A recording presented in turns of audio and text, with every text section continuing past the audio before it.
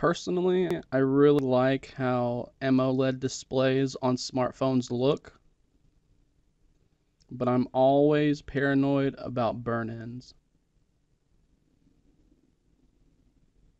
With the OnePlus 3, thankfully we don't have to worry about the navigation bar burn-ins as long as you have your capacitive buttons set. But we still have to, or at least still I have to worry about the status bar burn-in.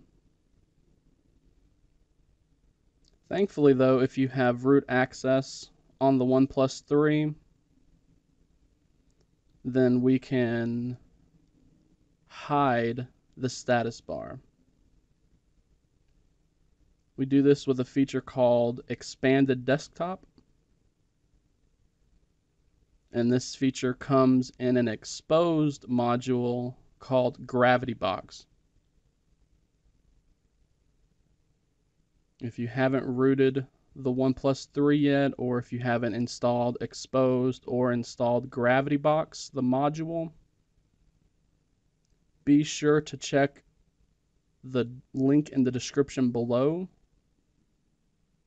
as it will take you to the full tutorial that I have written for hiding the status bar and that will guide you through how to root, install Xposed, and install Gravity Box.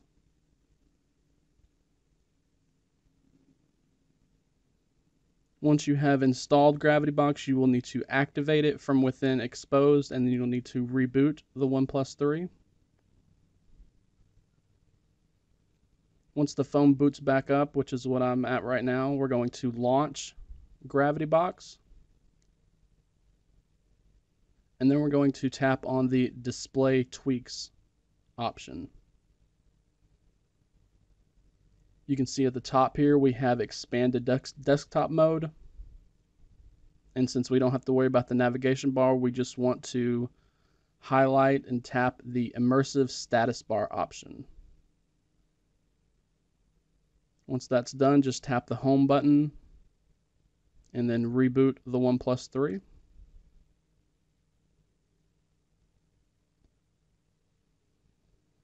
Some of the features included in Gravity Box will just activate automatically once you enable them, but some of them require a reboot.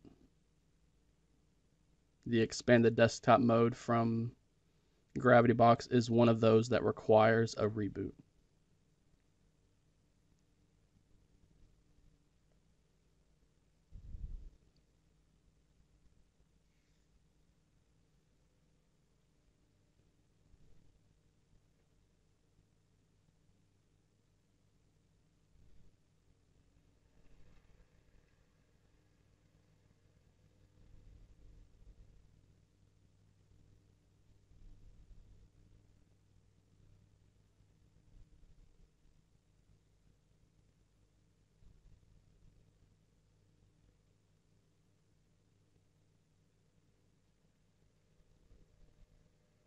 Once the OnePlus 3 has been rebooted, we'll just need to tap and hold on the power button to bring up our power menu. And then you'll see a new option here called Expanded Desktop. Tap on Expanded Desktop and it will enable it. You can see now it says Expanded Desktop is on. And now the status bar is hidden just like with regular immersive mode that was introduced in Android 4.4 KitKat. To make the status bar appear, we just have to swipe down from the top of the screen.